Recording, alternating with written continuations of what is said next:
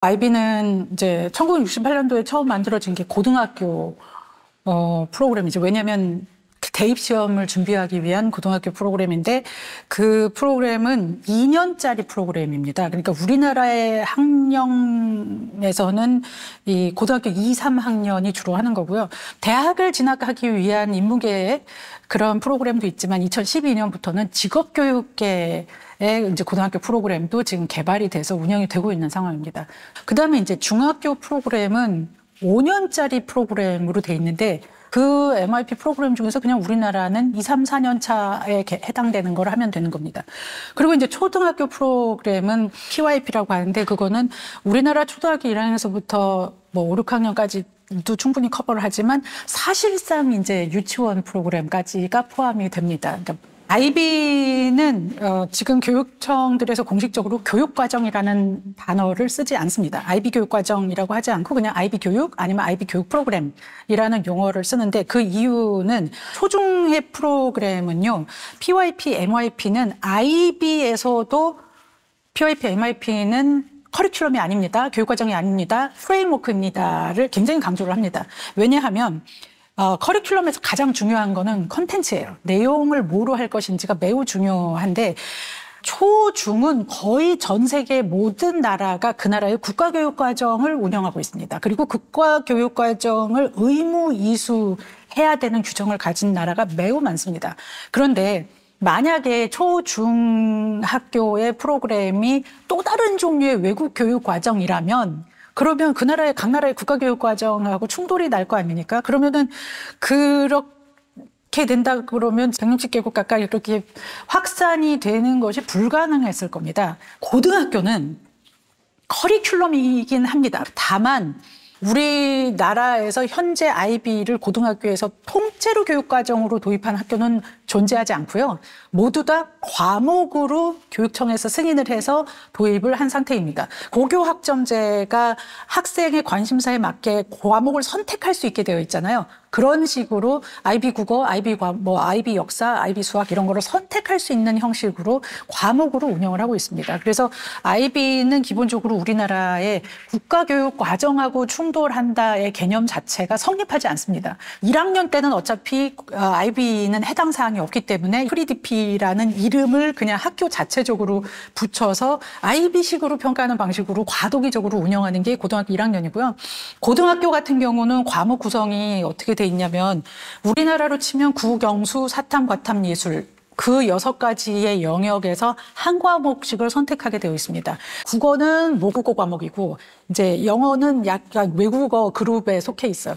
각각의 모국어나 외국어가 전 세계에 수십 개의 다른 종류의 언어 에 맞는 교육과정과 대입 시험이 개발되어 있습니다만 우리는 그냥 모국어에서 국어를 듣는 거고 그 다음에 이제 영어 외국어는 다른 모든 수많은 외국어가 있으나 우리는 이제 영어를 듣는 거고 사회 영역이나 과학 영역에도 여러 과목이 있습니다만 지금 먼저 한국어화가 된 것은 사회 과목에서는 역사가 먼저 한국어화가 됐고 그 다음에 이제 아, 과학 과목에서는 화학과 생물이 먼저 한국어화가 됐습니다. 아마도 경제나 지리 쪽에 대한 한국어화가 이제 뒤이어서 추진될 것것 같고 과학에서는 물리나 computer science 같은 과목들이 한국어로 추진이 될 가능성이 지금 있습니다. 예술 과목은 뭐 영화 과목도 있고 연극 과목도 있고 뭐 visual art 미술 과목도 있고 음악도 있고 뭐 여러 가지 다양한 종류가 있는데 그러한 과목들을 하나 빼고 사회나 과학에서 한 과목을 더 선택할 수 있습니다. 그래서 이제 어 과학의 두 과목을 선택을 하거나 혹은 사회 쪽에 어, 두 과목을 선택을 하고 예술을 빼고 이런 거는 가능합니다. 그리고 이제 모든 학생들은 국영수 사탐과탐 예술 이 여섯 개의 영역에서 한 과목씩을 선택해서 세 개 과목은 심화 과목을 듣고 그게 higher level이라고 하고요. 나머지 세 개 과목은 어, 이제 일반 표준 수준의 일반 수준의 과목을 선택하게 되어 있습니다. 이거를 standard level이라고 합니다. 기본적으로 higher level 심화 수준 의 이 과목들은 수업 시간을 한 시간을 50분이나 45분이 아니라 60분으로 봤을 때 240시간을 이수를 해야 되는 걸 의미하는 거고 어, standard level은 150시간을 이수해야 되는 걸 의미합니다. 예를 들어서 뭐 공대 이공계통을 뭐 이제 과학 쪽을 좀 잘하는 친구다 그러면 막 수학 물리 화학 이런 거를 higher level로 듣고 반대로 문과 성향이 굉장히 강한 친구들은 국어 영어 역사를 standa- 어, higher level로 듣고 수학과 과학 같은 거를 standard level로 할 수 있습니다. 거기에 더해서 이제 어, IB가 가지고 있는 독특한 이제 교육 프로그램 중에 TOK EE 카스라는 부분이 있습니다. TOK는 Theory of Knowledge라는 어, 지식론이라는 것의 약자이고요. 어, EE는 Extended Essay의 약자고 이제 카스는 Creativity Activity Service의 약자인데요. 이 세 가지 영역은 어, 코어라고 해서 IB 전체에서 이거 중에 하나가 미비면 디플로마 전체가 안 나옵니다. 그래서 이것이 굉장히 중요한 거고요. 프랑스 바칼로레아는 철학이 필수인데요. 아이비는 철학은 사회 영역에서 선택으로 되어 있어서 철학을 개설 안 하는 학교는 굉장히 많습니다. 그런데 TOK는 개설하지 않을 수가 없어요. TOK는 철학 중에서 인식론적 신념, 인식론 부분을 집중적으로 다루고 있는 분야인 것처럼 보입니다.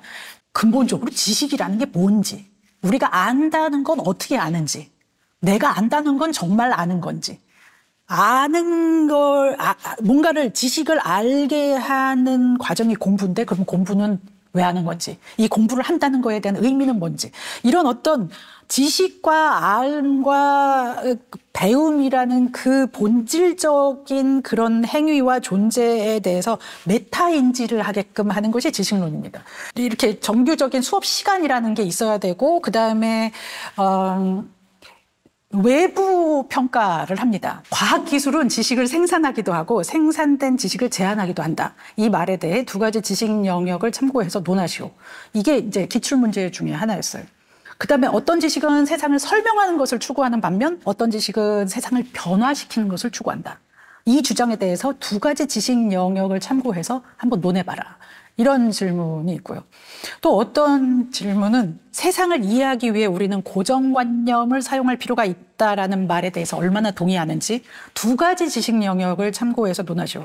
거의 대부분 두 가지 이상의 지식 영역을 논하게 돼 있는데요. 왜냐하면 지식의 영역들이 학문이나 혹은 여, 예를 들어서 수학하고 예술은 매우 다르잖아요. 과학하고 문학은 매우 다르잖아요. 그래서 항상 두 가지 이상의 지식 영역에서 이거를 어, 메타 분석을 해봐라라는 그런 어, 질문들이 항상 보통 나오고 있습니다. 또 하나의 이제 그 교과가 extended essay라는 조금 큰 소논문이에요. 근데 그 논문은 여, 섯개 교과에서 모든 교과에서 Internal Assessment라고 하는 장기 프로젝트를 기반으로 하는 소논문이 다 교과별로 내부 평가를 있기 때문에 이건 또 다른 거예요. 근데 이 과목은 여섯 개의 과목과 다른 과목이어도 되고 그다음에 몇 개 이 과목과 저 과목을 합친 융합 과목이어도 돼요.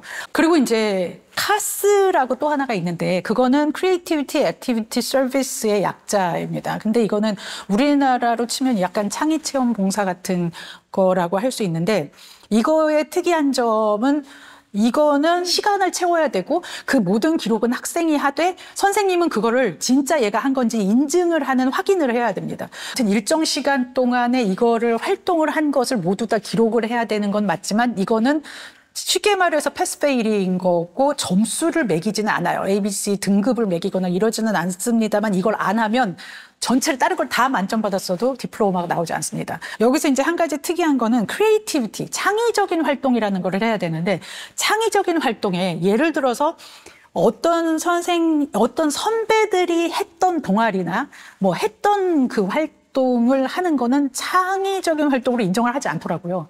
새로운 거를 뭔가를 만들어내야 돼요. 강제적으로 다른 방식의 활동을 생각을 해야만 하기 때문에 애들끼리 계속 그런 거 논의합니다.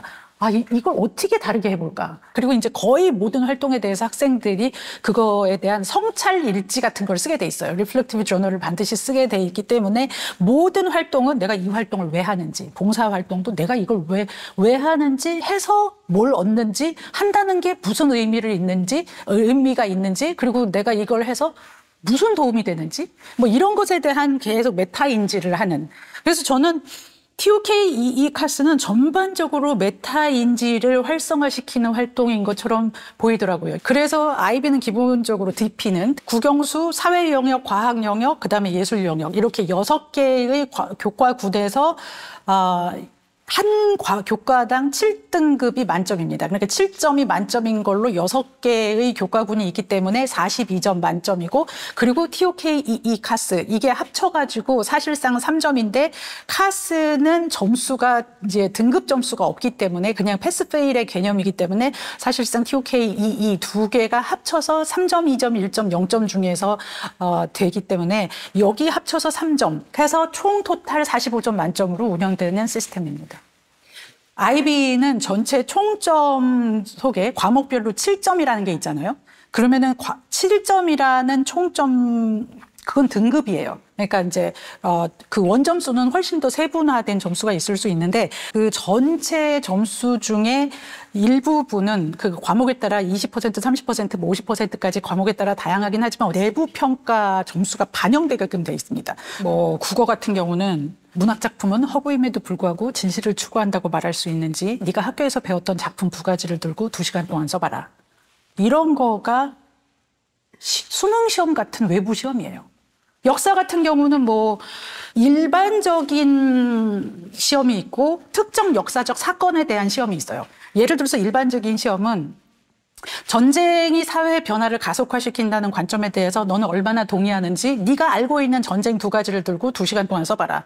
그러면 이제 우리나라 학생 같은 경우는 뭐 임진왜란 한국 전쟁 가지고 쓰면 되는 거고 저 유럽에 있는 애들은 똑같은 시험 문제를 가지고 백년 전쟁 장미 전쟁 가지고 쓸 수 있는 거예요. 또 다른 시험은 이제 특정 역사적 사건에 대해서 질문을 하는데 그 특정 역사적 사건은 유럽 쪽 시험 문제와 아시아 쪽 시험 문제와 아프리카 시험 문제와 미국 쪽 시험 문제가 다 다릅니다. 그러면 우리는 이제 동아시아 쪽 시험 문제를 선택을 해가지고 풀을 수 있는 거죠. 예를 들어서 한국 전쟁 발발에 외세는 어느 정도 영향을 미쳤다라고 보는지 네가 두 시간 동안 써봐라. 이거를 이 똑같은 시험 문제를 한국 아이들도 쓸 수 있고 일본 아이들도 쓸 수 있고 또 중국 아이들도 쓸 수 있는 겁니다. 수학은 기본적으로 물론 뭐 계산기 없이 하는 일부 확인하는 과정도 있지만 주로 이제 어 그 상위권을 변별하는 그런 시험은 다 계산기가 주어지고 공식 집이 주어지기 때문에 공식을 외워서 계산을 정확하게 하는 능력은 능력은 사실은 평가되지 않고 그냥 기본적으로 주어진 공식을 활용해서 계산기를 활용해서 조금 탐구적인 문제들을 어떻게 풀어내는지를 이제 평가하는 그런 방식인데 재밌는 거는 제일 처음에 플러스 마이너스 부호가 부호를 착각해서 쭉 푸는 게 얘가 모르는 건 아닌데 답이 쭉 틀린 그런 경우는 우리는 틀렸다라고 하잖아요. 근데 이거는 얘가 그 개념을 아는지 모르는지는 보이거든요. 근데 제일 위에서 얘가 부호를 착각했구나 라는 거를 알잖아요. 그러면 거의 대부분의 점수를 다 줍니다. 그러다 보니 이게 뭐냐면 아이들의 실력을 평가해야지 실수를 평가하지 말자라는 그런 철학이 반영이 된 건데 그러다 보니 애들이 부호 하나 착각했을까봐 혹은 숫자 하나 잘못 봤을까봐에 대한 패닉이 없어요. 애들이 그냥 공포감 없이 계산기 활용해서 공식집 활용해서 진짜 수학적 사고를 평가하는 그런 방식으로 이제 수학 평가가 진행이 되고요. 이제 IB는 굉장히 측정 평가의 타당성을 중시하는데 한 시험으로 모든 능력을 다 측정할 수 없다, 평가할 수 없다라는 생각 때문에 페이퍼 1, 페이퍼 2, 페이퍼 3 이렇게 여러 시험을 보는 거고요. IB가 보통 10월 말서부터 11월 초중순까지 약 3주 정도의 기간 동안 외부 시험을 봅니다. 수능 같은 외부 시험을. 한 번 시험은 길어봤자 두세 시간 보면 이제 학생들이 힘이 빠져서 더 이상 쓰기가 힘들어지기 때문에 그래서 어, 보통 이제 두세 시간 수준의 시험을 여러 개를 보는 것과 더해서 그렇지만 두 시간 세 시간 쓸 수 있는 그런 종류의 시험으로 도저히 측정 평가를 할 수 없는 것이 긴 호흡이 들어가는 거예요. 긴 시간 연구를 해야 되고 또 아니면 여러 가지 퍼포먼스나 말이나 이런 걸로 해야 되는 것들 있잖아요. 그러니까 지필을 단시간의 지필로 측 측정할 수 없는 영역은 Internal Assessment라는 내부 과제, 긴 프로젝트 평가를 통해서 측정을 합니다. 그러다 보니까 내부 평가 과제는 몇 달이 소요되는 프로젝트 형태로 이루어지고요. 그런 프로젝트의 결과물들은 보통은 어 이제 뭐 열몇 페이지짜리 보고서 이런 것도 있지만 거기에 더해서 이제 프레젠테이션 하는 것까지 평가에 포함이 되고 국어 같은 경우는 뭐 작품을 보고 그거에 따른 소논문을 쓰는 그런 것이 이제 내부 평가 과제로 어 이루어지는 걸 볼 수 있고 영어 같은 경우는 이제 말하는 것들이 이제 내부 평가로 이루어지는데 예를 들자면 이제 그 주제 중에 하나를 이제 학생이 뽑고 그 자기가 뽑은 그 주제에 대해서 잠깐 생각해 본 다음에 교사랑 한 20분 정도를 대화하는 거를 녹음을 해가지고 업로드해서 그걸 평가하는 이런 방식으로 말을 평가하는 게 있고요. 근데 이제 평가 rubric이 교과마다 다 프로젝트마다 다른데 그 예를 들어서 수학의 평가 rubric을 보면 personal engagement가 얼마나 들어가 있느냐. 이 거기서 만약에 자기가 직접 하지 않은 증거가 하나라도 있으면 최하 점수를 받습니다. 그리고 이제 얼마나 비판적인 성찰이 탁월한 성찰이 통찰이 들어갔느냐 이런 게 있고 그다음에 얼마나 난이도가 어려운 걸 했느냐 이런 거가 있어요. 근데 굉장히 이게 특이한 거는 난이도가 높으면 높을수록 고득점을 받는 구조면 이제 우리나라가 지금 그렇잖아요. 난이도가 높으면 높은 걸 공부를 할수록 성적에 유리한 구조이다 보니 계속 선행, 선행, 선행을 하는 게 이제 학생들을 선행으로 몰고 가는 거예요. 왜냐하면 선행을 할수록 뭔가 평가에서 유리하니까. 근데 이제 이 평가 루브릭은 난이도가 높은, 높은 거를 주제를 잡아서 하면 이 난이도 항목에서는 고득점을 받을 수 있을지 모르지만 나머지 항목들이 다 무너지는 효과가 나타난대요. 이게 무슨 얘기냐면 난이도가 높은 걸 하잖아요. 그러면 거기서 허를 찌르는 통찰이 나오기가 어려워요.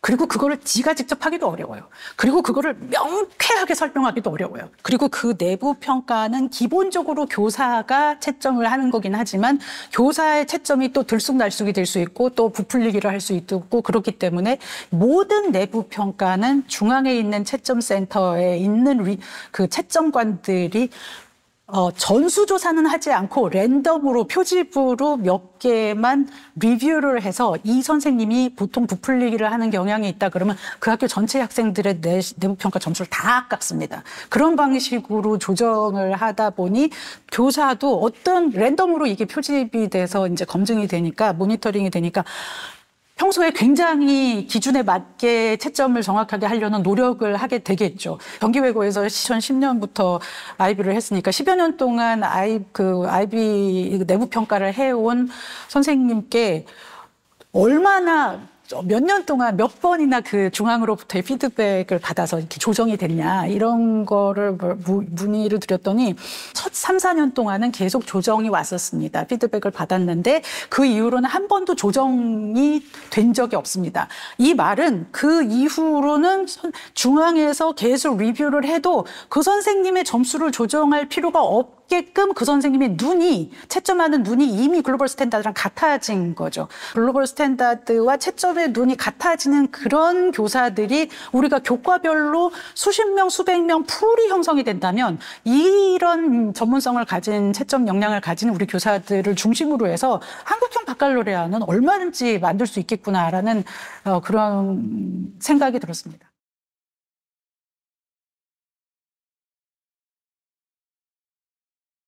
교권이 교사의 어떤 인간이나 직업인으로서의 권리 쪽에 더 어, 개념화가 돼 있다면 저는 교육권은 교사가 교육을 할 수 있는 권한, 즉 다시 말해서 교육 과정을 스스로 설계하고 스스로 교과서를 선, 정하고 스스로 교재를 선정하고 혹은 교과서를 집필할 수도 있고 그리고 교, 평가를 스스로 하고 진도를 스스로 결정하고 이 모든 것이 저는 교육권이라고 생각하는데 우리나라의 교사들은 상당히 많은 교육권이 박탈되어 있습니다.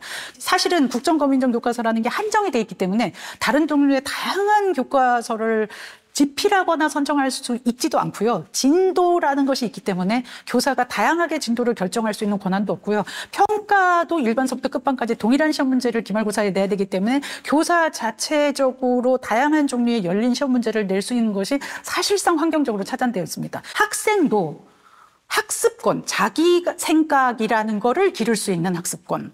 이 사실은 지금 박탈되어 있어요. 왜냐하면 내 생각은 별로 중요하지 않고 교과서의 생각, 뭐 문제집 뒤에 있는 정답의 생각 이런 게 중요하다 보니까 그 시험 문제의 정답 누군가가 정해놓은 적절함, 누군가가 정해놓은 옳음을 맞히는 그런 훈련만 계속 하느라고 내 생각, 내 관점, 내 주제, 내 아젠다를 개발시킬 수 있는 그 학습권은 박탈되어 있는 상태잖아요. 그래서 내 생각을 기를 수 있는 교 학생의 학습권을 회복시키는 일.